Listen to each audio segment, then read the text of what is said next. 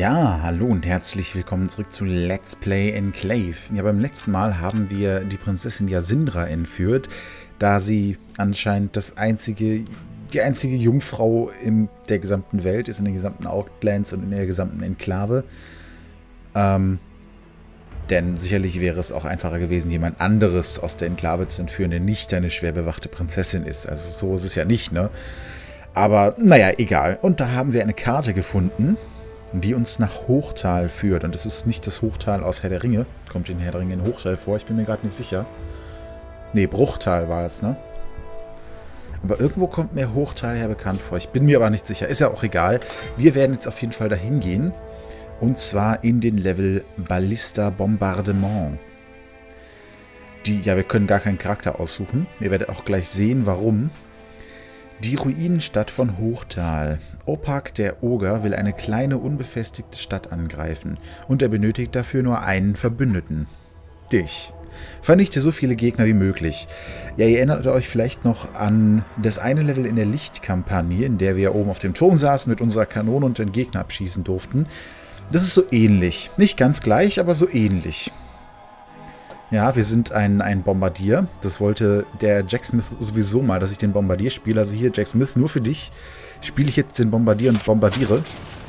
Okay, ich muss erstmal das Zielen angucken. So, wir haben einen erledigt. Okay, da oben sehen wir, wir können 1000 Goldstücke sammeln. Dann gucken wir mal, dass wir das auch hinkriegen.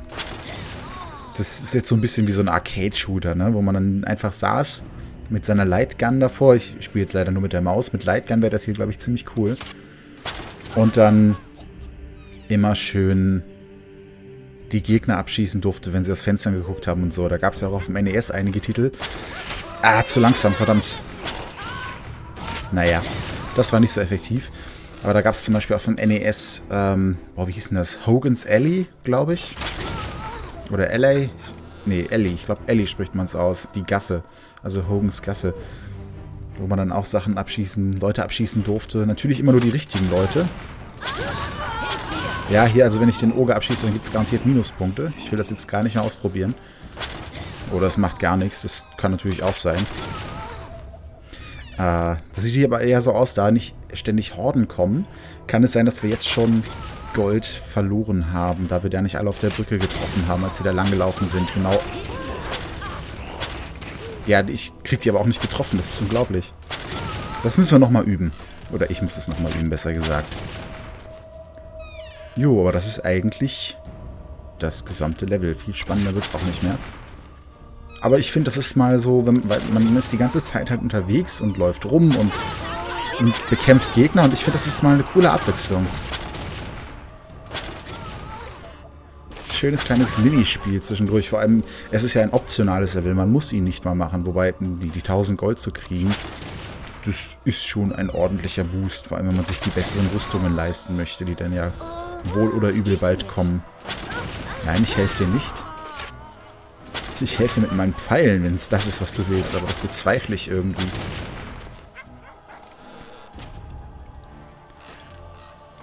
Ja, aber eigentlich läuft es ja ganz gut, so, gut, solange sie nicht hier auf der Brücke kommen. Da muss ich das Zielen nochmal üben.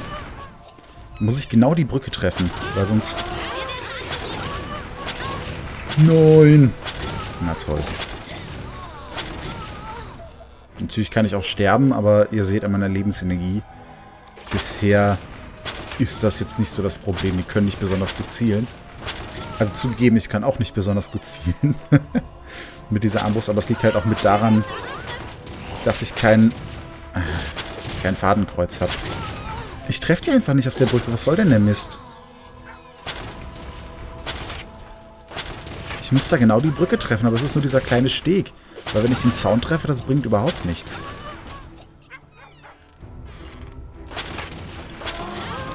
Ja, okay, das lief doch schon mal ein bisschen besser zumindest. Ich hoffe wirklich, dass es mehr als 100 Gegner hier gibt, die ich abschießen kann, weil sonst, sonst sieht das übel aus. Aber ich, ich meine, es wäre so gewesen wie bei dem anderen, dass ich da tatsächlich... Ähm, wow, das sind aber viele. Dass ich da tatsächlich genug Gegner hatte, um die 1000 Goldstücke bequem zu erreichen. Ansonsten wäre es ja auch echt ein bisschen fies. Vor allem wesentlich schwieriger als das auf der Lichtseite, wo einfach unendlich Gegner kommen, bis man halt drei durchlässt. Ja, mit meiner Lebensenergie sieht es auch nicht mehr so gut aus jetzt. Ja. Okay, vielleicht kann ich das auch machen. So ein bisschen an die Häuser schießen, wo sie hinlaufen. Cool, den habe ich getroffen, bevor er überhaupt rauskam. Schön. Ich hätte gern einen Heiltrank.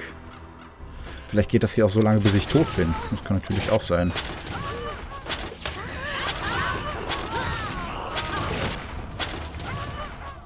So, 840 haben... Ja, okay. Game over. Das ist anscheinend 84 Feinde besiegt, 840 neue Goldstücke wurden hinzugefügt.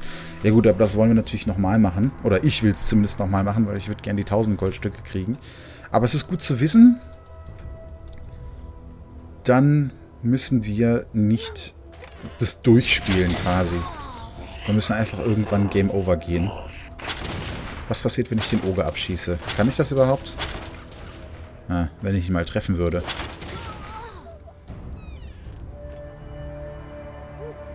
Ach ja, am Anfang ist das so relativ langweilig, weil einfach keine Sachen kommen zum Abschießen.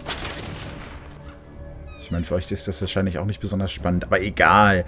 Ihr könnt ja das Video überspringen, wenn ihr es nicht mehr schauen wollt. Viel Spannenderes wird auch nicht passieren, ja. Denn den nächsten Level mache ich dann in einem, in einem eigenen Video. Dann kann ich auch hoffentlich wieder vernünftig reden, ohne mich die ganze Zeit zu verhaspeln. Boah, das ist furchtbar. Ich muss mal vor den Aufnahmen demnächst irgendwie so, so, so Sprachübungen machen, so Lockerungsübungen. Das wäre wahrscheinlich eine ganz gute Idee. Naja, immerhin habe ich den Halbling noch erwischt.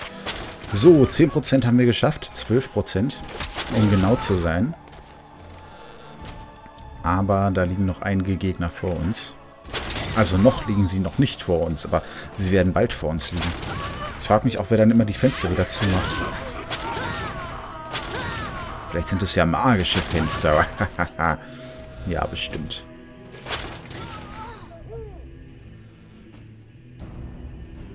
Hallo?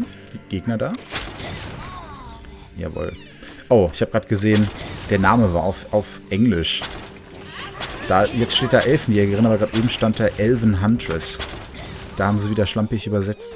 Es gibt jetzt auch ähm, die deutsche Version von Enclave auf GOG. Die habe ich nicht angefangen, weil es, als ich das Let's Play angefangen habe, nur die englische Version gab.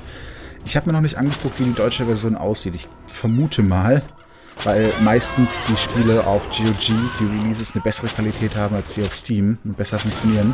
Äh, vermute ich mal, dass auf GOG die deutsche Version richtig deutsch ist. Also auch die äh, Erzählungen im Buch richtig deutsch und hier, da stand schon wieder Elven Huntress. Und dass halt die Übersetzung auch richtig ist und nicht so komisch wie in der Steam-Version. Also ich habe es auch definitiv mal in der richtig deutschen Übersetzung gespielt. Das war ja so, wie ich das erste Mal gespielt habe. Da war das alles deutsch. Also auch alle Zwischensequenzen. Da nichts mit Untertiteln, das war eine deutsche Erzählerstimme. Ich verstehe halt bloß wirklich nicht, warum das in der Steam-Version ist, aber naja. Ich weiß nicht, ich, ich mag Steam meistens nicht so sonderlich. Ich nutze es, weil was bleibt mir anders übrig? Es gibt viele Spiele, die es halt auf Steam gut zu kriegen gibt, die es da günstig zu kriegen gibt, vor allem wenn Sales sind. Ähm, deswegen nutze ich das, aber teilweise finde ich es halt ein bisschen nervig und mag es dann auch nicht. Deswegen, wenn es geht, spiele ich eigentlich immer die GOG-Version. Vielleicht bin ich da einfach so ein bisschen so ein Hipster, aber so bin ich halt. Das mag ich eben lieber. Und vor allem gibt es auf GOG einige Spiele, die es auf Steam nicht gibt. Ja, zum Beispiel Little Big Adventure gibt es auf Steam immer noch nicht. Den zweiten Teil ebenso wenig. Ja, könnte mal aufhören, auf mich zu schießen, dann kann ich auch die Leute auf der Brücke erledigen. Ich sehe schon, ich, ich sterbe doch gleich wieder bei 800 Goldstücken. Also ich muss die auf der Brücke jetzt ein bisschen ignorieren. Das ist zwar schade, weil die einfache Beute sind, aber kannst du nichts machen.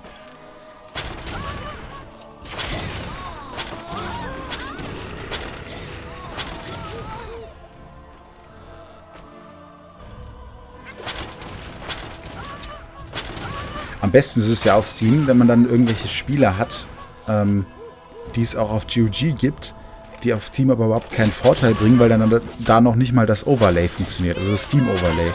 Das ist ja schon, schon ein Grund. Ich meine, man hat immer seine Freundesliste, man kann währenddessen mit Freunden reden, man kann über Steam mittlerweile streamen, was ich ziemlich cool ist. Oh, jetzt schon wieder an der gleichen Stelle, oder? Oh, wow, ich habe einen Feind mehr besiegt. Okay, versuchen wir das nochmal. Dann kann ich noch ein bisschen über Steam abranten.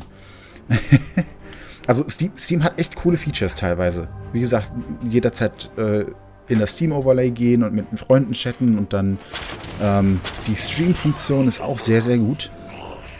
Bloß, wenn es dann mal halt bei einigen Spielen kein Steam-Overlay gibt, aus welchen Gründen auch immer. Ja, das sind Spiele, die gibt es im Steam-Store und die haben halt kein Steam-Overlay. Ich verstehe es nicht genau.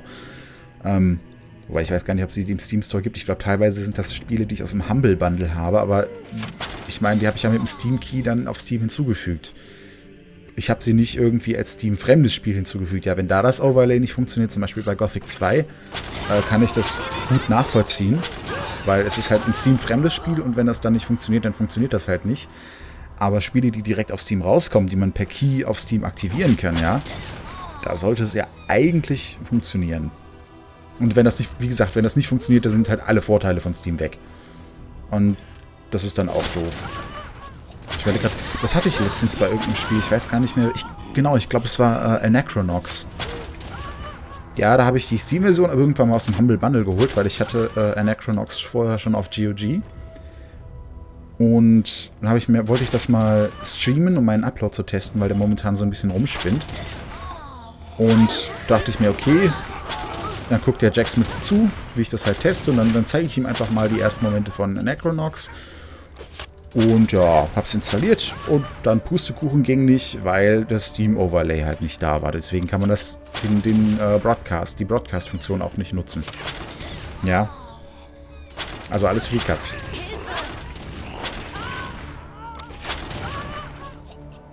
So, und jetzt habe ich irgendwie den Faden verloren. Ich weiß gerade nicht, worüber ich noch reden soll. Ja, aber das, das Schöne an den, an den ähm, GOG-Spielen finde ich dann halt auch einfach, dass sie DRM-frei sind. Weißt, man, man kauft sie halt einfach und dann kann man sie jederzeit installieren. Man ist nicht auf eine Internetverbindung angewiesen und man kann sie sogar alle runterladen und auf eine Festplatte packen, die Installer. Und dann kann man sie immer wieder installieren. Man muss nie wieder auf diese Seite gehen, wenn man es denn will. Man hat sie dann einfach. Man kann sie auch auf CD ziehen und von da aus installieren, auf einen USB-Stick, wie auch immer. Das finde ich halt einfach so cool. Nix mit, mit hier ähm, Steam muss gestartet werden, damit das Spiel gestartet werden kann. Wobei, gut, man kann ja vieles auch im Offline-Modus machen, aber äh, es nervt halt einfach. Oder das, das Schlimmste ist ja hier Assassin's Creed.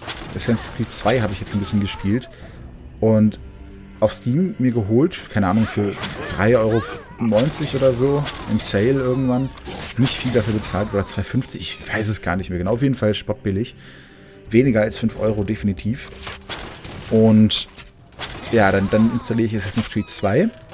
Dann natürlich obligatorisch, wie es eigentlich bei fast jedem Steam-Spiel ist, wenn man es neu startet. Erstmal hier DirectX noch installieren und Net-Framework und hast du nicht gesehen, den ganzen Mist. Verstehe ich ja sowieso nicht, warum das immer und immer wieder neu installiert werden muss.